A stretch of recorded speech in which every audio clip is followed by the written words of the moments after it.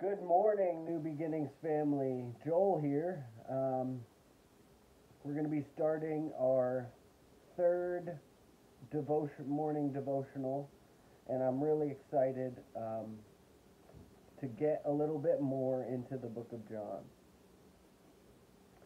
So, if you were with us yesterday, um, we went through John chapter 4, the woman at the well.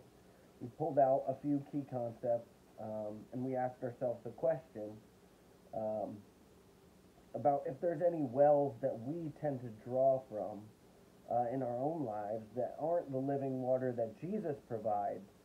Um, and so I hope that uh, kind of stuck with you through the day. I know it did for me. Um,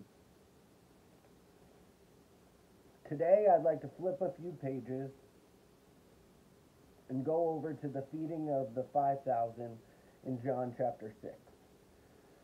So again, I'm just going to read a little bit. We'll pull it out. We'll ask ourselves some questions. So starting in verse 1, it says, After these things, Jesus went away to the other side of the Sea of Galilee. A large crowd followed him because they saw the signs which he was performing on those who were sick. Then Jesus went up on the mountain, and there he sat down with his disciples. Now the Passover, the feast of the Jews, was near. Therefore Jesus, lifting up his eyes and seeing that a large crowd was coming to him, said to Philip, Where are we to buy bread so that these may eat? This he was saying to test them, for he himself knew what he was intending to do.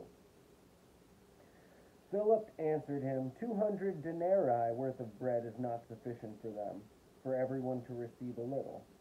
One of his disciples, Andrew, Simon Peter's brother, said to him, There is a lad here who has five barley loaves and two fish. But what are these for so many people? Jesus said, Have the people sit down. Now there was much grass in the place, so the men sat down, in number about five thousand.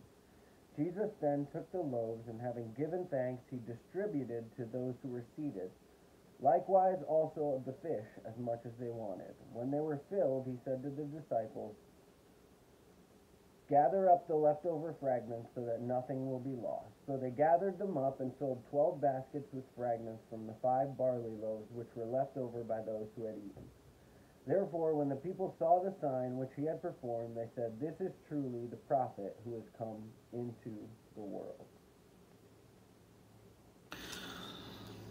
So I'm sure you guys are familiar with that passage, most of you. Um,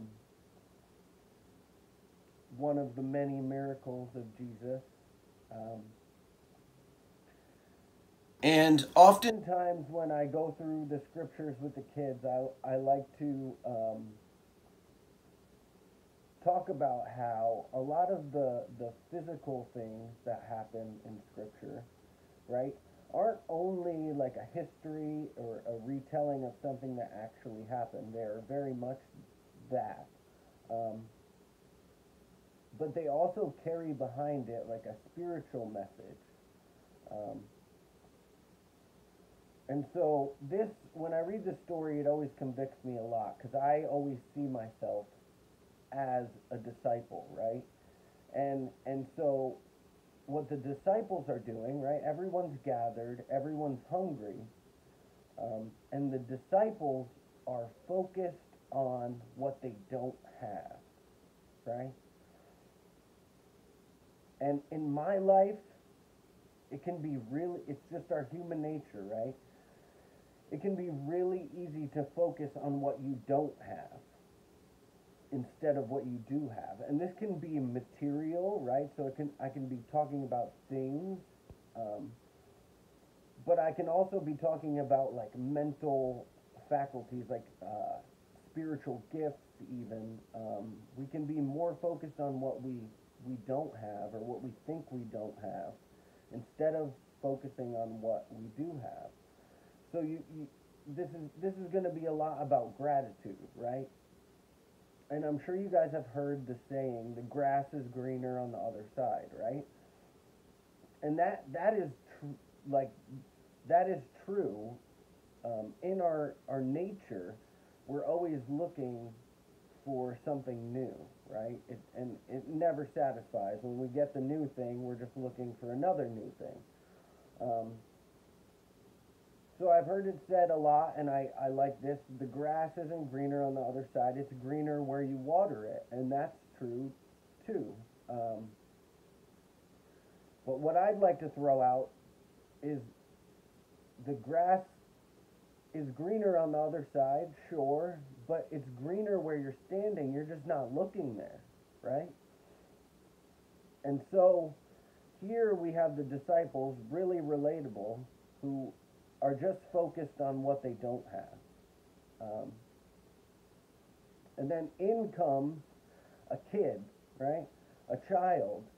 And, and what the child does is he's focused on what he does have, what he can give, right? And he's willing to give it. Um, and we see that just as a principle, right? This is the principle I think that the story is trying to portray, or one of the many, is that when you're focused on what you do have, right, and you offer that to Jesus willingly, even if it's just a small amount, right, that gets multiplied, right? And not only do the blessings go to you, but the blessings go to everyone else, right? Um, so the point that I want to make is that often we can be people who look at what we don't have, but if we start to look at what we do have, right, materially, but also look at what we do have spiritually, right, the gifts that we've been given, right, and we say, God, uh, you know, you gave me this love for crafts, right, or fill in the blank, and I'm gonna give it back to you. I'm gonna start a, a group, you know, uh, at church doing this. Whatever your gift is, whatever your talent is, um, if we give the the gifts that we've been given from God back to God to use for His glory, He multiplies them and blesses others. Right.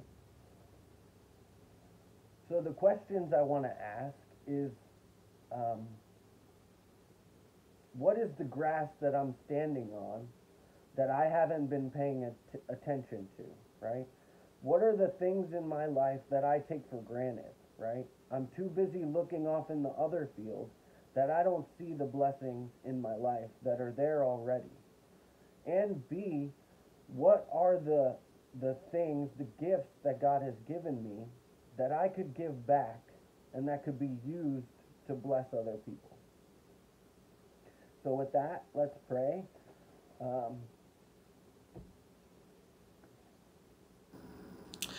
Dear God, thank you for another day, Lord.